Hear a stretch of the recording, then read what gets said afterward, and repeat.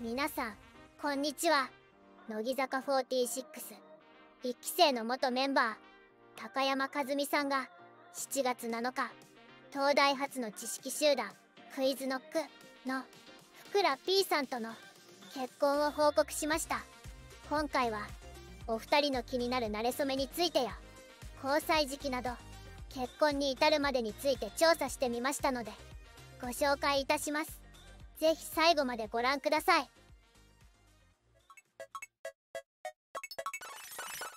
ハイパー塩対応。7月7日福良 P さんとの結婚を SNS で報告した高山和美さん。私ことで恐縮ですが暮らしに変化が訪れそうなので報告をさせてください。この度福良健さんと結婚する運びとなりましたと報告。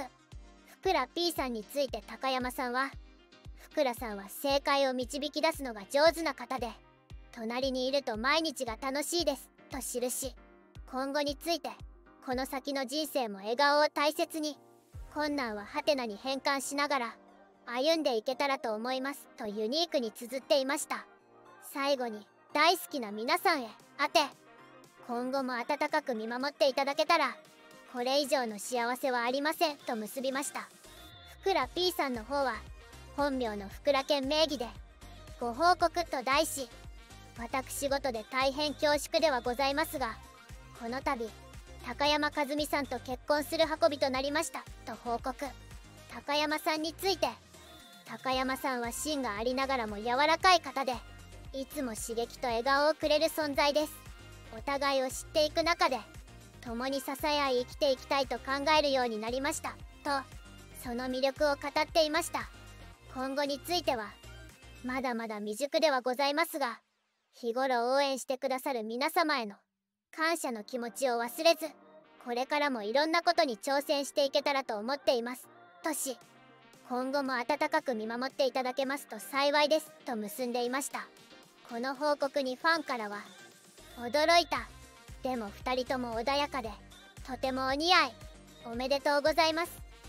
高山和美さんは乃木坂の頃から大好きでした。当時のエピソードでは周囲に気配りできる優しい人のようでこの報告を聞けてとても嬉しいです。乃木坂46が女性グループにありがちな実は裏ではバチバチでというイメージがないのはこの人の存在も大きかったように思えます。これからも周囲を笑顔にできる存在でそして何より高山さん自身が幸せになりますよう一ファンとして願っています。順番を大事にするところはさすが賢い。恋人は好きであれば続けられるけど夫婦は生活を共有するのでこだわりがある部分が合わないと不満がたまる。お二人とも知的で穏やかなご家庭になりそう。いいですね。お似合いで理想的。頭がいいカップルは意見がぶつかりそうな時も感情的にならずさらっと落としどころを見つけることができる。そして相手の自分と違うところを楽しめる。さらに新しい人格の子供ができたらさらに楽しめる。解決方法もスマートなんだよね。など知的な2人でお似合いだという。祝福のコメントで溢れていました。ハイパー塩対応。高山和美さんは高校1年生の時アイドルオタクになりモーニング娘。のライブへ通い始めたことをきっかけにアイドルを目指すように高校2年生の時にはモーニング娘。9期メンバーオーディションに応募したそうですが残念なことに書類選考で落選しかしアイドル歌手になりたいという夢は捨てきれずに乃木坂46の1期生オーディションを受けたそうです。そして2011年8月21日乃木坂46の1期生オーディションに見事合格した高山さん暫定選抜メンバーに選ばれ立ち位置は後列でしたが2012年2月22日にはファーストシングル「ぐるぐるカーテン」で CD デビューとなりました。高山さんは2021年に乃木坂46を卒業されましたがアイドル時代からバラエティ番組の司会に起用されるなどファンからはしっかり者で周りを見られるといったイメージがあります。カズミンは優しい。圧倒的にいい人感が溢れている。周りを見て自分は引くべきところか出るところか判断できる。無理に自分を売り込んだりしない。控えめな感じが好きです。性格の良さがにじみ出ている。など好意的なコメントばかりでした。そんな高山さんは博識なだけでなく読書家としても知られています。乃木坂に在籍しながら2018年には自身初となる。小説「トラペジウム」を出版し今年はその作品が映画化されましたね。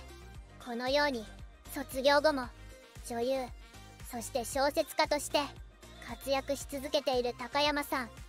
福良 P さんとの結婚報告は熱愛報道など出ていなかったこともあり本当に驚きましたがお二人の出会いは一体どういったものだったのでしょうか。調べてみると高山さんと福良 P さんは共通の趣味を通じて出会い自然と交際に発展したそうです。またお二人はテレビ朝日系人気番組クイズプレゼンバラエティ Q 様。などで共演されていました。この共演や共通の友人を通じて親しくなり2019年には高山さんが福良 P さんへの好意を表明していたようです。高山さんは乃木坂在籍時の2016年5月に放送された乃木坂工事中の乃木恋発売記念ドキドキ理想の彼を大発表恋愛禁止のメンバーからあくまで理想の男性に求める5つの条件を発表してもらうというコーナーで割と低い身長白い肌ダサめの服バカか天才肩という条件を提示していました。要約すると背が低いと可愛いし肌が白いとチャラく見えない。ヘアルックとかもしたいしバカか天才かのどちらかに振り切っている方が面白い。撫で型すぎず怒り型すぎずちょい薄めの猫背がいいということを話されていました。なんだかマニアックな条件ですが割とふくら P さんに当てはまっている気がしますね。このようにお二人は謎解きやボードゲームなどの知的な活動を通じてお互いの興味を深めていきました。そして2人の交際期間は明確には公表されていませんが2022年以降に交際が始まったとみられています。高山さんが乃木坂46を卒業した。2021年11月以降の交際と考えられます。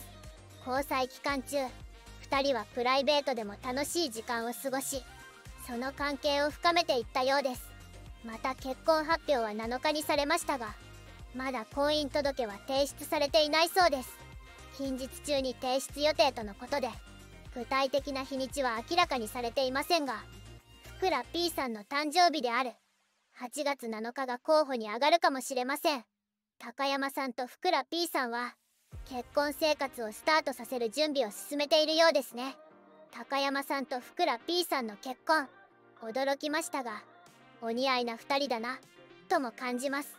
ファンの間ではこの結婚発表が話題の中心になっている現在かと思いますが SNS にお二人が投稿した報告文の文章の周りにある何やら意味ありげな枠についても注目されています。ふくら P さんの方は報告文の周りが点。高山さんの方は直線で2人の報告文の画像を重ねると直線と点がピタリと合致するのです。これには何らかのメッセージが隠されているのでは。ということでモールス信号。困難はハテナに変換という文章にもヒントがあるなどと考察が過熱しています。クイズノックのメンバーらしく謎解きありのご報告も面白いですね。一体どんな意味を込めたのでしょうか。答え合わせもそのうちしてほしいですね。もう謎が解けたという方がいたらぜひコメント欄で教えてください。最後までご視聴いただきありがとうございます。コメントを残してくれると嬉しいです。チャンネル登録高評価もぜひお願いします。それではまた。